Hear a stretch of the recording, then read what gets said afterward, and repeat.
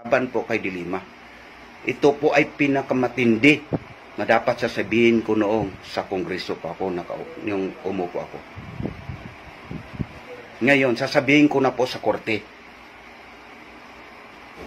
Ulitin ko po, alam ni Nova ito, no? So, nirespeto ko lang pa siya noon. Nirespeto ko kasi pinigilan ko siya. Ginamit. So, parang, parang naramdaman ko na ngayon nandito ako sa kampo. Mas tagal-tagal. Ginamit akong dilima, ginamit ako ni Nova. Ano pa yun? May isa pang general yan. Pinapalabas sa mga watcher ni Digong, ni Presidente Duterte. Alam mo, sa totoo lang, ito, ano ba, sa iyo nangyari? Ito pong karma, gaba po sa inyo. Sa inyong dalawa. Ngayon, may mga bata yan eh. Nakapwisto sa krami, yung kabit mo eh. Alam ko eh. Pinakaisahan ako nyo ngayon eh. Di ba, nagsusulat ka pa sa anak ko. Nandito po mga sulat mo. Handwriting. Galit ka pa ni Duterte, di ba? Nandito, hindi ka maka, hindi ka makapagsinungaling may ebidensya ko sa'yo. About sa kiss mo, mag-volunteer witness po ako sa'yo para malaman ng buong Pilipinas. Ebidensya, lahat ilabas ko. Pati kay Dilima, ito na. Ma-expose po ako. Nga supplemental affidavit ko, nga pinakamatindi. Pi- Alam mo no ba, sinusunod lang kita. Noon. Dahil napamahal na rin kita noon. Pero sa ginawa mo sa akin, para bang wala na kumakain dito? Alam nito kahit magtanong, ilang taon na dalawang taon, nakikakain ako sa mga Bucor, sa mga guard dito. Medyo mapatulong lo ako. May sasakyan ako ipabinta, hindi mo pabinta. Wala kang hawa.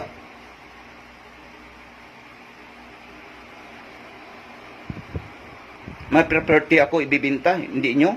Pinapaikot-ikot lang nyo ako. Mga anak ko kawawa, di ba? Ito po, nasabi ko po dito rin kay Nuba, sa may binanggit kong general na kabit niya. Dahil po, kung di, di ko tumabanggit, hindi mabuong istorya na expose ko about kay Dilima. Dugtong po ito. Dapat sasabihin ko po ito sa Kongreso. Pero hindi ko nasabi. Dahil pinigilan ko ah, niya at tinatakot ako nga delikado daw ko kasi ganito, kung babaliktad ang panahon daw, ay ganito. Hindi. Itong sinasabi ko, nag-witness po ako kay Dilima. Ito pong katotohanan nangyayari. Pero yung sinasabi ko sa Kongreso, 50% lang yun. Dahil po sa Yunova, dahil mahal kita, noon ay sa pagmamahal ay sinusunod kita. Pero ngayon, hindi na kita. Hindi ko pwede sundin ko po ang katotohanan. Hindi ko po susun- susundin ang kamalian. Okay?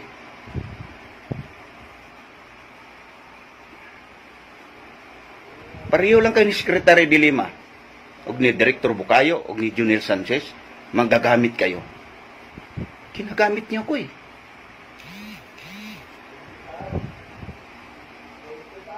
Dahil may mga koneksyon ka, may kakampi ka, lalo na itong kabit mo, si Lucadjo Salva Cruz Jr. Yan ang ano mo eh. Yan pinagmamalaki mo eh. Hanggang ngayon, dahil may mga tao siya, mga official din, Iko lang babanggitin dito.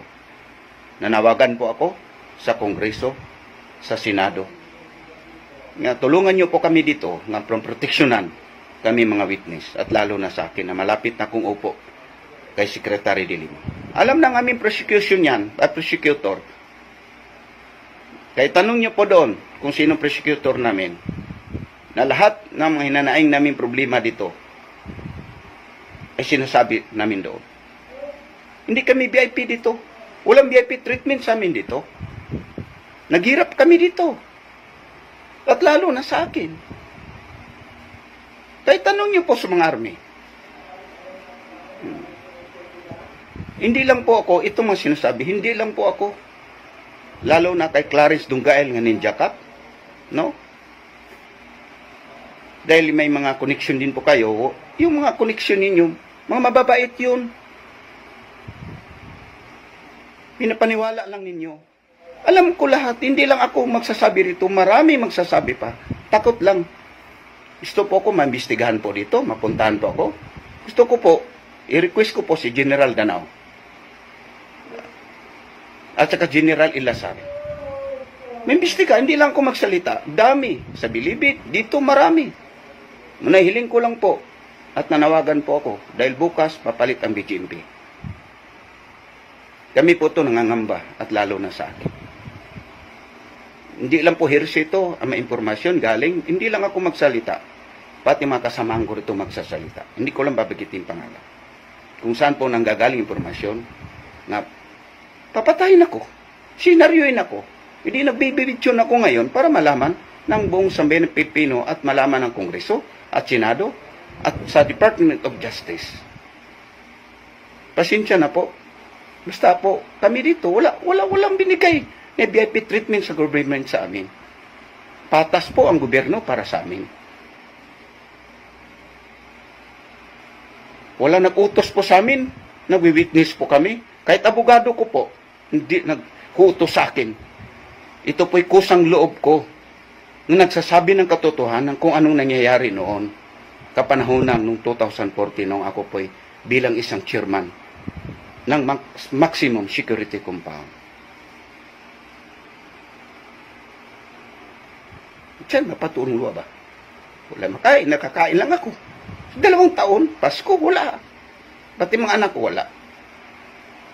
Tapos sabihin, kulang ko, mayaman. Hmm. Mayaman, sino ba, Princess Baronig? Hindi po ako. Ako po utusan lang po. At sama din po kay Dilima. At nga utusan nila po ako nga maglikom ng pera galing sa droga para po ipundo para sa iyong eleksyon niya nung pagkasinadora niyo. No? Totoo po yun. At hindi lang po yung sasabihin ko. Itong hearing ko, may expose pa akong bibitawan. Hindi ko pwede sasabihin dito sa video. Kung hindi, doon lang po sa korte po. Sa 256 branch, branch Muntinlupa City. Pero nakikiusap po kami at tumiling po kami ng tulong po sa inyo. Nga sana matulungan po kami. Hindi pwede Papalitan ng mga gwardiya namin, apat na taon na nil, nag, nagbantay sa amin dito. Nga safety kami. Papalitan kami ni GMP para ano isenaryo. Para, i, para hindi, hindi na ako makapagsalita sa korte. Ano ba, ano ba, hindi ko maintindihan po ang direktor namin na si General Bantag. Ano ba? Wala naman kami illegal, wala naman kami ano dito. Mga tao to naghirap. Gusto ko lang klaruhin po, no?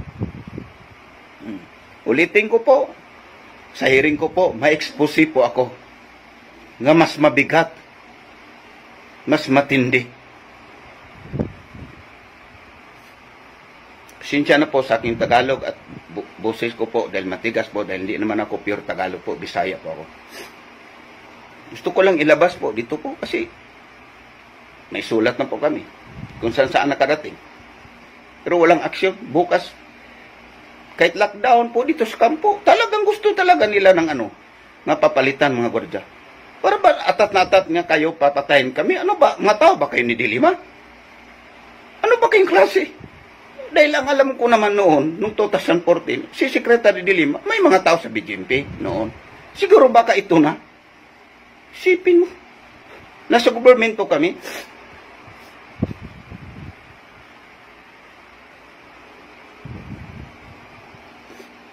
nagwi-witness laban kay Senadora. Tapos, kung sila papalit, paano? Hindi na kami makakain, hindi kami makatulog. At lalo na sa akin na malapit na ang aking hearing. Nakiusap po kami nga, kung pwede, army lang magbantay sa amin at Bucor. Safe naman kami dito, sa loob ng kami ng kampo. Compound po ito.